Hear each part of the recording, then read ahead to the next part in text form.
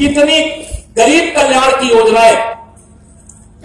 जो माननीय नरेंद्र मोदी जी के नेतृत्व में सबका साथ